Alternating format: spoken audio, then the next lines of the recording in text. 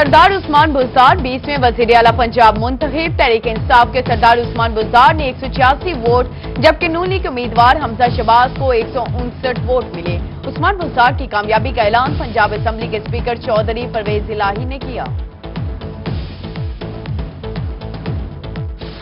مجھ سے پوچھتے ہیں کہ آپ کی میرٹ کیا ہے؟ آپ کو کیوں سلیکٹ کیا گیا ہے؟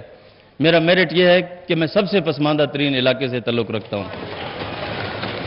یہ خان صاحب کا وین ہے کہ انہوں نے پنجاب کی سب سے پسماندہ ترین تحصیل کو قائد ایوان کی سیٹ دی ہے۔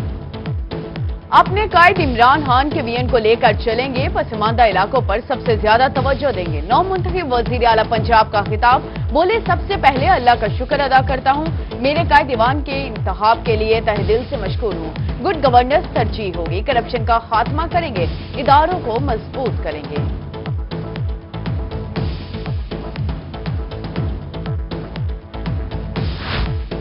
جنوبی پنجاب سے منتخب ہونے والے پی ٹی آئی کے امیدوار سردار عثمان بزدار کا تعلق تونسا کے نواحی علاقہ بارتھی سے ہے۔ عثمان بزدار پی پی دو سو چھیاسی سے پی ٹی آئی کی سیٹ پر ممبر پنجاب اسمبلی منتخب ہوئے۔ عثمان بزدار جنوبی پنجاب صوبہ محاذ کا حصہ بن کر پی ٹی آئی میں ماہمئی میں شامل ہوئے۔ وزیر اعلی عثمان بزدار کے گاؤں میں بجلی بھی میسر نہیں۔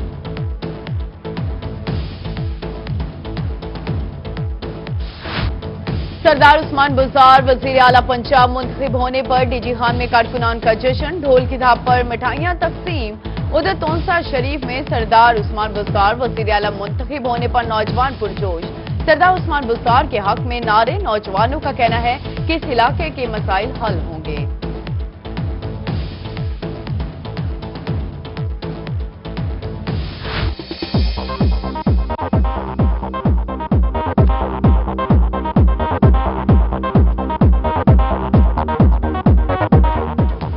میاں والی میں آخری ہفتہ وار مویشی منڈی سچ گئے بھی کی کثیر تعداد میں مویشی منڈی میں رش شہری من پسند جانور خریدنے کے لیے مویشی منڈی پہنچ گئے۔ ادھر ملتان کے ٹاؤن مویشی منڈی میں سہولیات کی کمی، مویشی اور بیوپاریوں کے لیے پینے کا پانی تک میسر نہیں شہریوں اور بیوپاریوں کو شدید مشکلات کا سامنا۔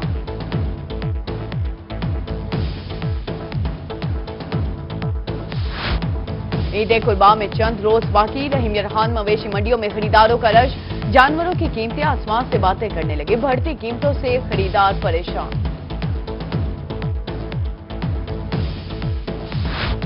عید قربا میں چند روز باقی، پردیسیوں کی گھروں کو واپسی شروع۔ ریلوے اسٹیشن اور ویگن سٹینڈ پر مسافروں کا رش۔ ٹرانسپورٹرز کی جانب سے کرایوں میں اضافہ۔ مسافر پریشان۔ پنجاب بھر میں عید الاضحیٰ کے اجتماعات پر فل پروف سیکیورٹی کے حوالے سے ہوم ڈپارٹمنٹ کا خط۔ پنجاب بھر میں انیس ہزار دو سو بارہ عید اجتماعات ہوں گے، چھ سو پچہتر انتہائی احساس قرار۔ ہوم ڈپارٹمنٹ کا کمشنرز کو مساجد اور عیدگاہوں کی سیکیورٹی بہتر بنانے کی ہدایت۔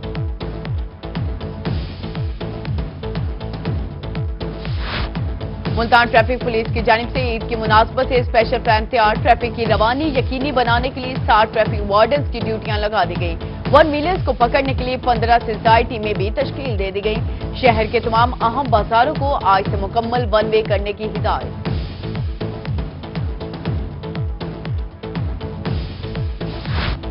عید قربا کی آمد آمد منڈیوں میں سبزیوں کی قیمتوں میں اضافہ. ادرک ایک سو پچہتر، ٹماٹر اسی روپے فی کلو فروخت ہونے لگا.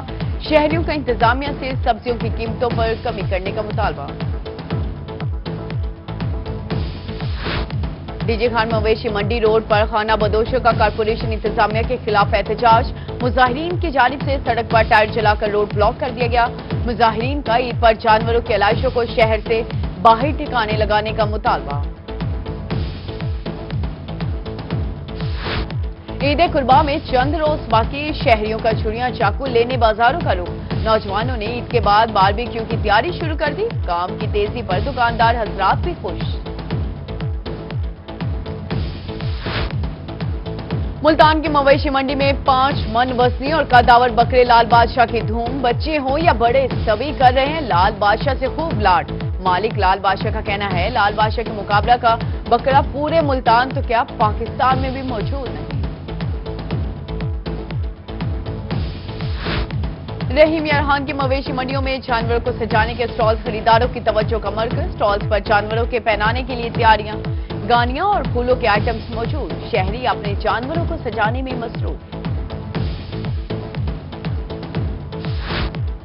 اس شریف کی اہم گزرگاہ پل موانع خستہ حالی کا شکار، جنگلے ٹوٹ کا شکار، شہریوں کا حکومت سے پل کی تعمیر کرنے کا مطالبہ۔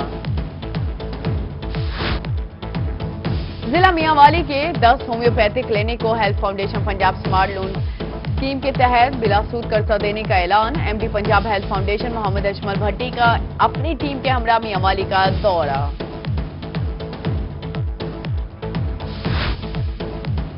تین روز سے وارڈ اپ اپن سے زائرین کا معاملہ۔ ساسو زائرین نے پیدل سفر شروع کر دیا۔ زائرین نے جنوبی پنجاب کے دو سو افراد شامل۔ زائرین کی بسوں کو کوئٹہ تک جانے کی اجازت نہیں دی جا رہی۔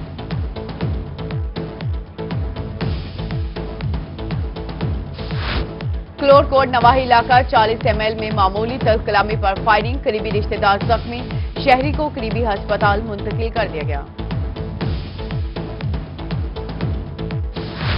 جیجیہان کے علاقے رکن کلونی میں گزشتہ رات ڈکیتی کی واردات پولیس کی جانب سے ایف آئی آر درج، چار ڈاکوں نے اسلحے کے زور پر موٹر سائیکل اور نقدی چھین لی۔ لاہور ہائی کورٹ میں ججز کی ترناتی کا معاملہ التوا کا شکار، ججز کی کمی کے باعث زیر مقدمات، تعداد ایک لاکھ تیس ہزار سے تجاوز کر گئی۔ ججز کی مزید کمی ہونے کے باعث مقدمات کی تعداد مزید بڑھنے کا امکان۔ سپریم کورٹ لاہور رجسٹری میں آئندہ ہفتے مقدمات کی سماعت کے لیے ججز روسٹر جاری۔ دو بینچز مقدمات کی سماعت کریں گے۔ لاہور رجسٹری میں کل دو بینچز مقدمات کی سماعت کریں گے۔ لاہور ہائی کورٹ کے وکلا کو ڈی این اے کے قوانین کے متعلق فرانسک سائنس ایجنسی سے ٹریننگ دلوانے کا فیصلہ۔ خواہش مند وکلا ہائی کورٹ بار میں کل رجسٹریشن کروا سکیں گے۔ Chief justice Lahore high court Muhammad Yawar Ali برطانیہ کے نجی دورہ مکمل کرنے کے بعد وطن واپس پہنچ گئے۔ Chief justice Lahore high court Muhammad Yawar Ali چودہ اگست کو نجی دورہ پر برطانیہ گئے تھے۔